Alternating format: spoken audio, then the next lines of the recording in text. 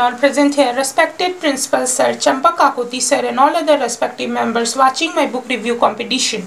Today myself Ashutosh Priyadarshi of class 9 from Vivekananda Kendra Vidyalaya Roing is here to present book review competition. My book name is Childhood written by Dr. APJ Abdul Kalam.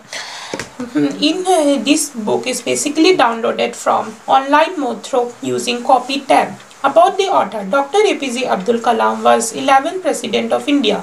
He was born on 15 October 1933 in Tam Rameshwaram, a small island town of Tamil Nadu. He studied physics and astro, aerospace engineering and became a very popular scientist of India. He served India as the RDO and Indian Space Research Organization for more than four decades. He was also known as Missile Man of India. Besides this, he was also popular among childhood and he was also made to give highly inspiration and motivational speeches to children with high priority speeches and words. Besides this, he was also a very great writer. We came to know about him in a detailed manner in one of his autobiographical book written by him, written by him, Wings of Fire, written by Dr. APJ Abdul Kalam. Here he describes about him from his childhood to the last breath. Dr. APJ Abdul Kalam was a great nationalist, obviously.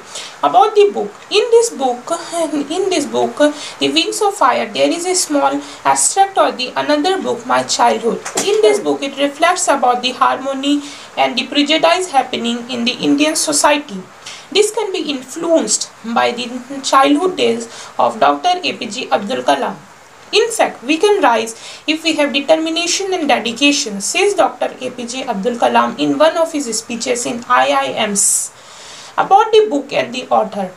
This, My Childhood, is taken from the autobiographical book The Wings of Fire written by Dr. APJ Abdul Kalam. Here Dr. APJ Abdul Kalam, 11 President of India and Missile Man of India, have written about his childhood days. He expressed that he expressed the feeling that the journey from the middle class family in Rameshwaram was not an easy task for him. The journey from middle class family to a president house was not a very easy task for him. He had done a lot of hard work and finally he had got all the success that he wanted. He was born in the Muslim middle class family as a short and tiny out looking boy. His father Jalaluddin was not a very rich and educated person but he provided a secure and hygienic childhood to all his children. He was highly inspired from his parents, teachers and students as well as his friends also. His father, he had said that he had learned self-discipline and honesty from his father and deep sense in kindness and truth and kindness for others from his mother Asiyamma. Dr. APJ Abdul Kalam, the missile man and 11th President of India, earned his first wages by distributing the newspapers and helping his one of his cousins, Sima Suddin, and distributing newspaper in Rameshwaram, Tamil Nadu. In the fifth standard, Dr. APJ Abdul Kalam had three close friends, Ramanda Sastri, Aravindhan as well as Shiva Prakashan. So they used to sit in the first bench with each other as a four bencher student. So one day a teacher came to his class and said that APJ Abdul Kalam cannot sit with all those three Brahmin boys. So he was made to sit in the last bench. His one of his friend Ramanda Sastry was weeping so that he wanted to sit with one of his closest friends APJ Abdul Kalam. So in that day APJ Abdul Kalam was highly impressed from his friend. Next phase to his life was Siva Prakashan, was commonly known as Siva Subramaniam Iyer. Siva Subramaniam Iyer was the popular and the famous science teacher, famous science teacher of him. Hello. He break the social barriers Siva Subramaniam was his popular science teacher as well as a teacher who helped him to break social barriers. Siva Subramaniam Iyer break two social barriers in his school as well as house. Siva Subramaniam Iyer helped to break social barrier in the school by punishing that teacher who have made the APJ Abdul Kalam to sit in the last bench and made APJ Abdul Kalam to sit in the front bench with other three Brahmin boy.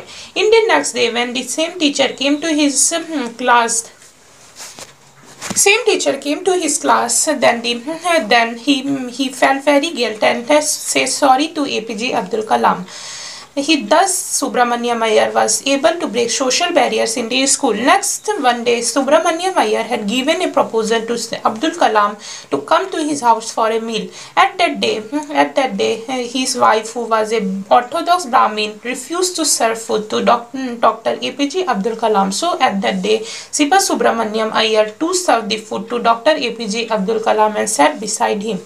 So she uh, in that day she felt very guilt when APJ Abdul Kalam had once again came to her his house then she too served food to both of them especially uh, Dr. APJ Abdul Kalam and Siva Subramaniam Iyer thus he was also able to break social barrier in his house next Subramaniam next Subramaniam appreciated appreciated Dr. APJ Abdul Kalam and said him that he would succeed in his life in a great highest ranks Dr. APJ Abdul Kalam wanted to get higher uh, education and he wanted to reach Rameswaram and wanted to go to headquarters of Ramanathapuram of Tamil Nadu. So in that day his father said, Abul, I know a seagull does not fly across the sun without a nest and alone. So you also need a help from someone to go to Ramanathapuram. In that day, Abdul Kalam was highly appreciated from his father and he, he said he is highly inspired from his parents, teachers and friends in one of his speeches when he was 11th president of India. So matches of uh, Dr. APJ Abdul Kalam from his childhood days is that is that uh, Life is not a bed of roses. Life is also a great journey.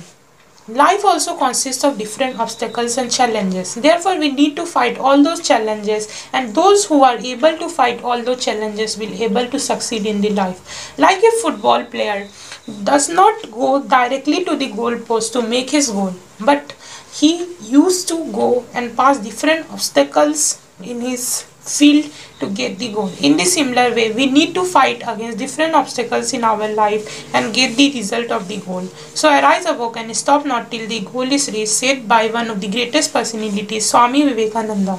No one will forget such a great personality, Dr. APJ Abdul Kalam from heart, mind as well as body. Salute to those persons who are great nationalists for India. Thank you.